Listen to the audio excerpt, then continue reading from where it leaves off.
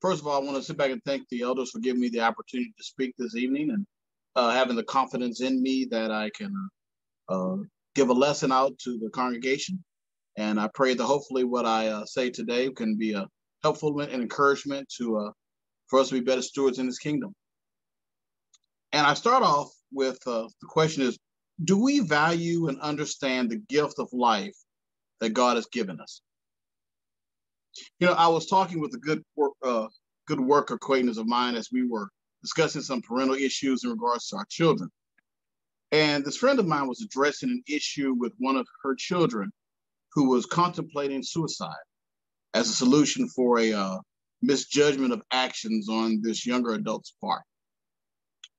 The good thing is that the young man who was uh, between the age of 20 and 22 was talked out of taking that uh, specific action.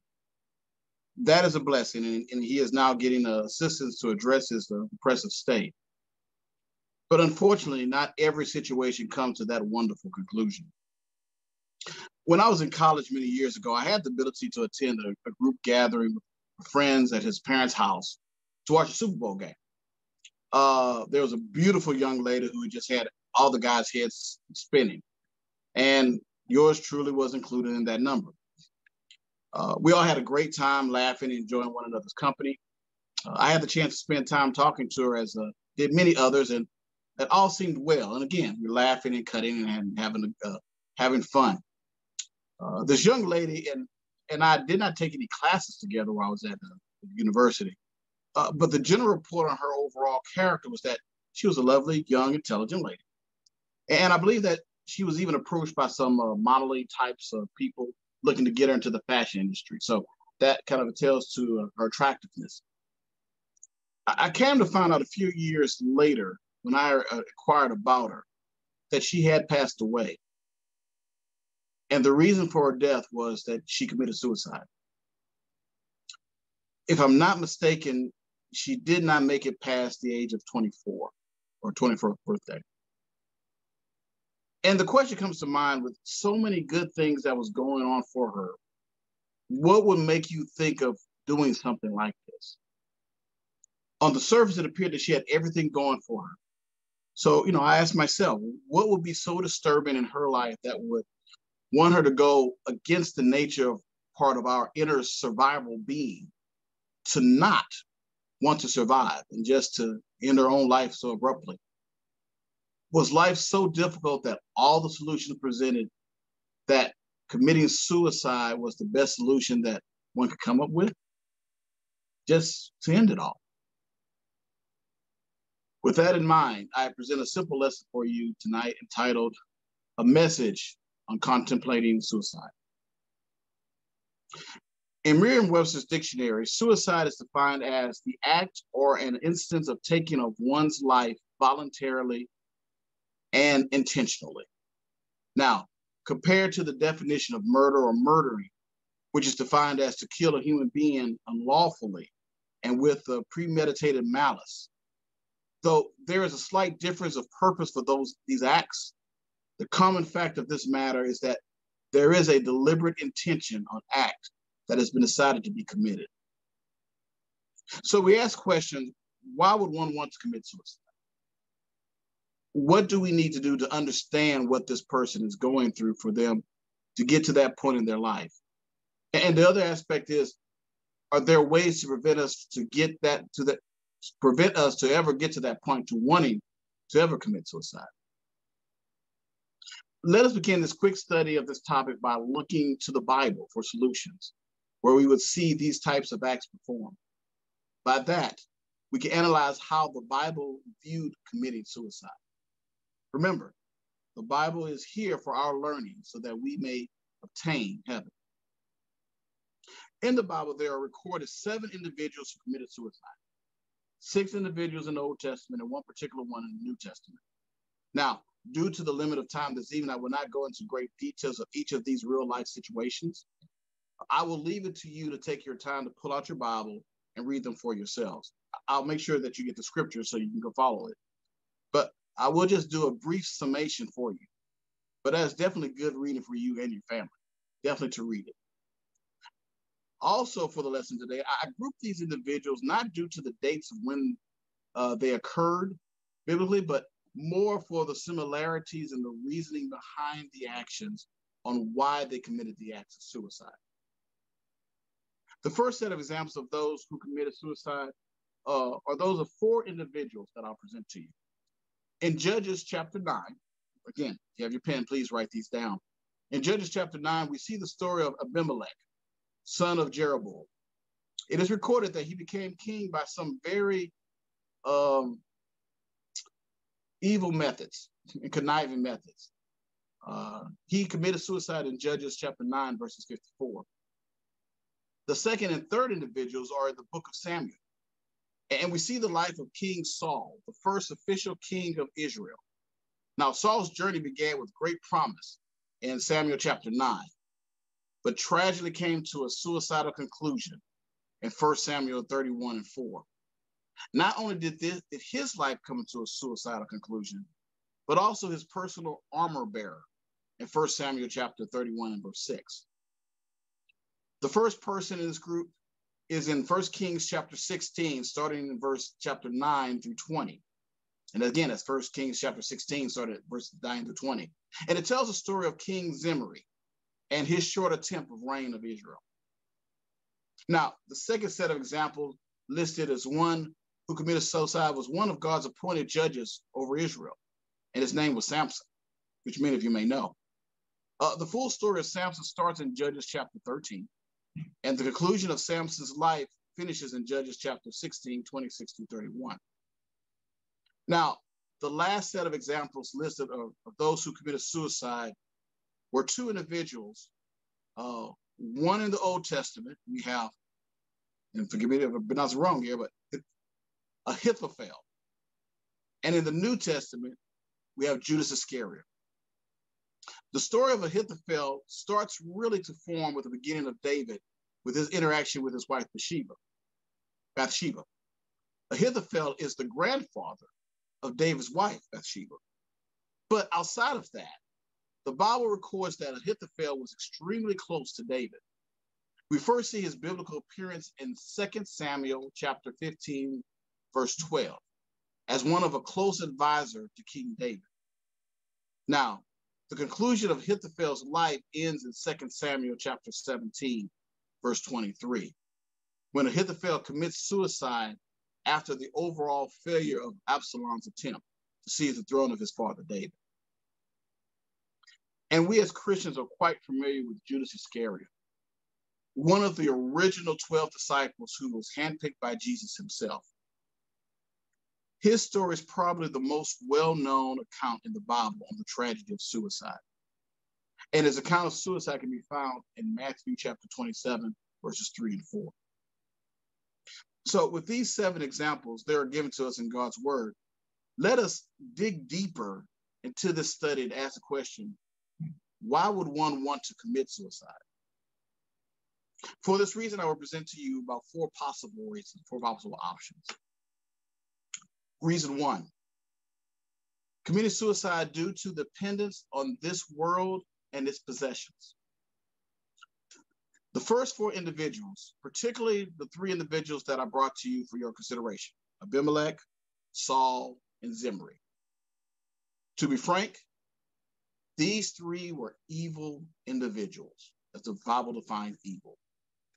Their personal desire of life was wealth and power and they wanted to obtain the worldly aspect as best as they could by any means necessary, even if it meant breaking God's established law and killing anyone that was in their way, family included.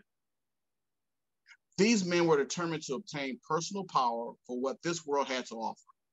Now, when God made it clear to these men that their efforts of, of gain was, would not succeed, and all that they fought for by devious means would never come to fruition, in their minds, in their minds, they had nothing to turn to but to cause their own self destruction. You know, when I think of these men uh, at that time in history, it reminds me of those leaders like Adolf Hitler or Germany in World War II and uh, Alan Garcia Perez of Peru in 2019, or just a few examples of world leaders that committed suicide as well They were so prideful in the loss of power that they were not willing to face the consequences of their actions. You know, their biblical examples also are reminiscent of the same mindset of those individuals pursuing the, the wealth of this world. Now, did you know that in the 2008 financial uh, crisis, it was recorded in the top 54 industrialized countries in the world that over 6,900 suicides were reported due to the loss of financial wealth in the stock market that physical financial year. Again, these are individuals that could not bear the loss of this world's gains or money. They are so connected to this world and its possessions that their own individual pride cannot get past that level of material loss. Thus, they end their own lives for the material things of this world. When you do evil in this world, you will be removed from this world. Proverbs chapter 2, verses 21 through 22 states, For the upright shall dwell in the land, and the perfect shall remain in it. But the wicked shall be cut off from the earth, and transgressors shall be rooted out of it. Romans 2 and 9, 9 through 11 states, Tribulation and anguish upon every soul of man that doeth evil, of the Jew first and also of the Gentile. But glory, honor, and peace to every man that worketh good, to the Jew first, and also to the Gentile. For there is no respect of person with God. Oh, and for the fourth of that list, and that was Saul's armor guard, who also committed suicide. Though the Bible never mentions anything regards to this particular person's character, whether good or bad, the lesson we learn from his demise is this be careful of the leaders we follow in our lives. Their leadership can lead us also in paths of destruction. For those of you young ones that are listening, listen, young ones, and I'll ask you this way Would you rather be a sidekick like Robin to Batman? Or would you rather be the sidekick like Iago, you know, that annoying parrot to Jafar, you know, the villain that was in the cartoon movie Aladdin? Which person would you rather be? Well, my generation might relate more to Mr. Schmeiss. Uh, you know, he was the henchman of uh, Captain Hook in the cartoon of Peter Pan. So, 1 Corinthians 15 and 33, which reads, Be not deceived. Evil communication corrupts good manners. Young people, listen real clearly on this point as you're growing up and you're maturing and becoming to learn about life. Be careful who you pick as your leaders in life and be mindful of the path that you take they take you.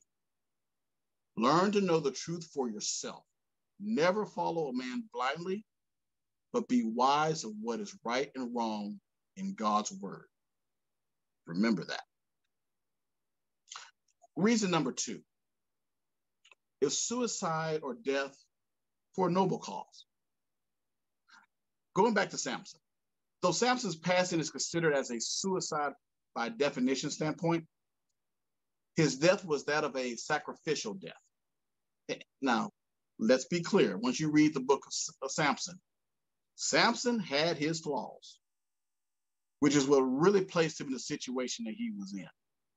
Okay. Uh, particularly, he had desire for what we call exotic women. Uh, and again, that's what really put him in the situation that he was in. Um, his strongest weakness got the best of him. But at the very end, Samson did what was right in the sight of God. Samson never measured up to his full potential.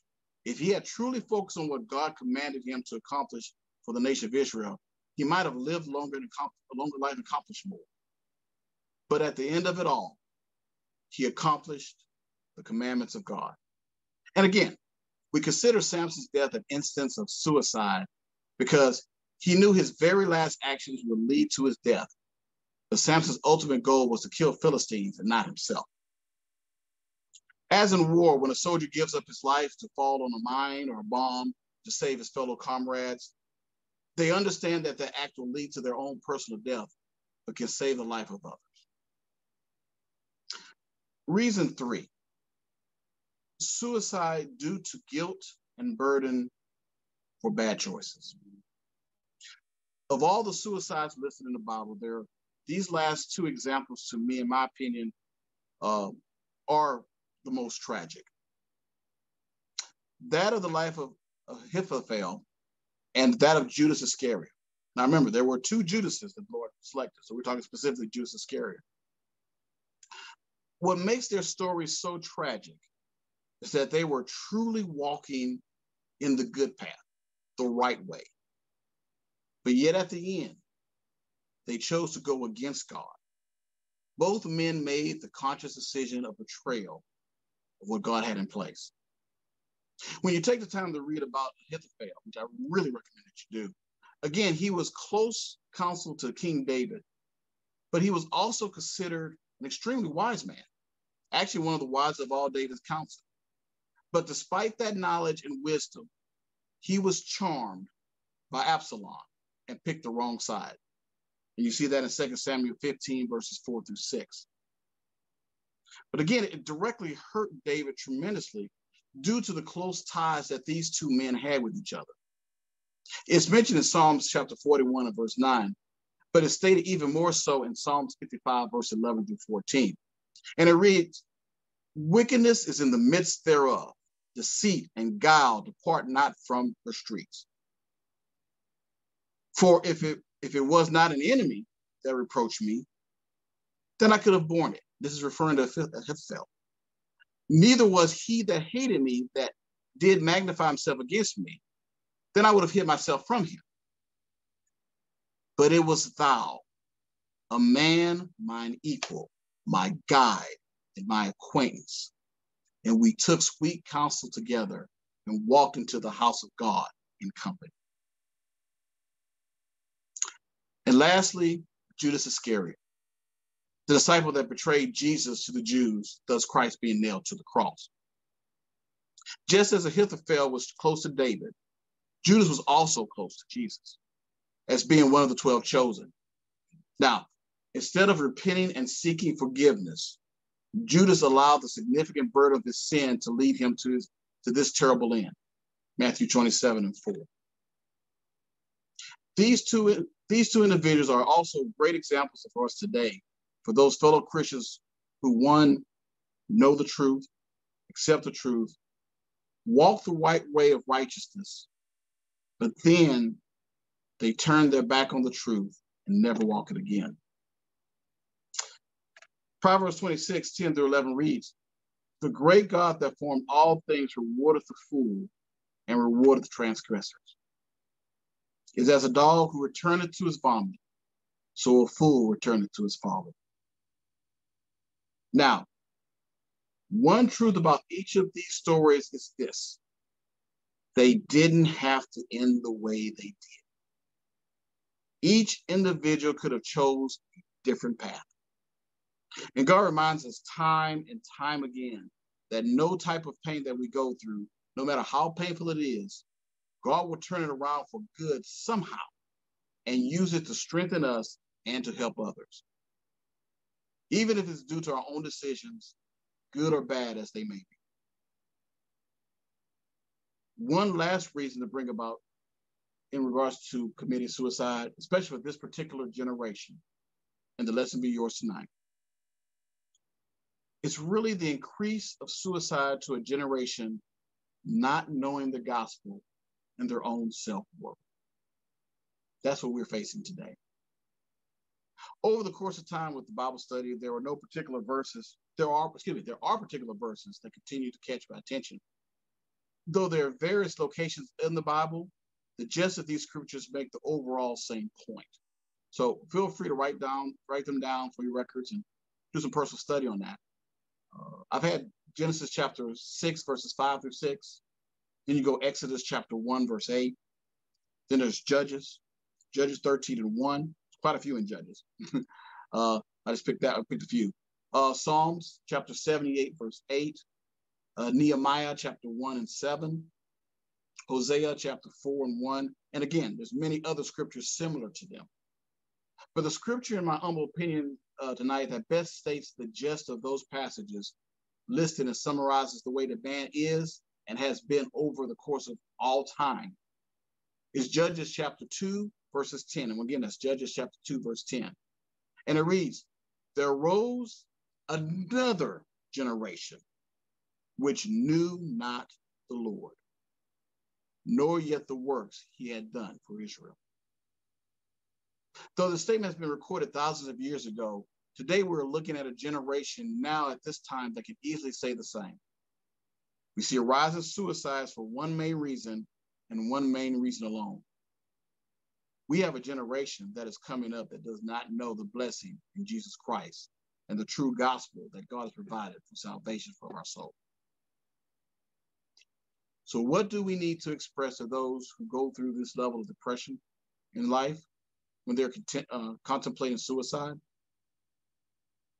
One, let's be very frank on this matter. The Bible views suicide as equal to murder, which is what it is. It's really self murder. So, according to the Bible, suicide is sin. Now, let us also understand. Secondly, God is the only one who is to decide when a when and how a person should die. We should always consider what the psalmist says in Psalms 31, 14 through 15. But I trust in thee, O Lord. I said, Thou art my God. My times are in thy hand. Deliver me from the hand of mine enemies and from them that persecute. Secondly, God is the giver of life. He gives it life itself, and he can take it away. Job 1, verse 21. Suicide, the taking of one's own life, is ungodly because it rejects God's gift of life. No man or woman should presume to take God's authority upon themselves to end his or her own life. Suicide is sin. So anyone contemplating it needs to remember that. Each human being is God's unique creation. And none of us have the right to murder God's creation, even if we make ourselves the victim. Reference that in Matthew chapter 5, verses 21 to 22. But we can't overcome sin. Lastly, as I mentioned in the previous lessons before, anxiety and depression is quite rampant in our society here in the United States. Perhaps scars from past hurts have resulted in an overwhelming sense of rejection or abandonment. They may lead to self pity, anger, bitterness, vengeful thoughts, or unhealthy fears that have caused problems in some of the, your most important relationships. But you have to understand that you're not the only one going through trials and tribulations. The Bible's filled with people who go through trials and tribulations that, that we go through. You are not alone. Life comes in seasons, it's ups, it's downs, and they won't always hurt this badly. God will always provide a way out. First Corinthians chapter 10 and verse 13. This is why it's so important that we continue to spread the gospel to those that are lost so they can truly know the wonderful gift of life that they are blessed with. You are a unique creation of God. You're the only you in the entire universe. And you are fearfully and wonderfully made. Psalms chapter 139, verses 13 through 16. Now, how is there ways to prevent us to ever get to the point of wanting to commit suicide, trust in God for all our efforts. If we as Christians come across someone who is looking to uh, at suicide as an answer or contemplating suicide, we should always take it as a serious matter and urge them to get help and continue to follow through with that individual. Also, we should urge him or her see a doctor. You know, many times depression or some physical problem may be the root of the suicidal thoughts. Proper medical treatment may alleviate the societal thoughts and return that person to healthy thinking. I stop here to say this. If you are viewing this live stream right now and considering suicide, please seek help now. Feel free to contact anyone here at this congregation, and we'll do everything in our power to help you. Now, if you feel more comfortable and want to call for other assistance, here's some other options. One, you can call 988, which is the Suicide and Crisis Lifeline, just like you would call 911 for emergency assistance. Secondly, you can contact the 1-800-273-TALK or 1-800-273-8255. That's a suicide prevention hotline. And lastly, get yourself to a hospital if you can, or go alert someone in your home, your apartment, your workplace, wherever you are. Do whatever it takes to get help. There is never a problem that God cannot solve. And I repeat that again. There is never a problem that God cannot solve. But most importantly, God's word, when properly followed, is also designed for us to secure our place in eternal glory. And I've gone through these verses before, but I always I like these verses. Uh, Proverbs chapter 3, Proverbs chapter 3, verses 5 to 6. Trust in the Lord with all thine heart and lean not unto thine own understanding. In all thy ways acknowledge him, and he shall direct thy paths. Jeremiah chapter 17, verse 7. Blessed is the man that trusteth in the Lord and whose hope the Lord is. And again, the last verse I will reference for you to this evening, the lesson is yours. Let us hold fast the profession of our faith. Oh, excuse me, Hebrews chapter 10, verses 23 to 25. And again, it's Hebrews chapter 10, 23 to 25.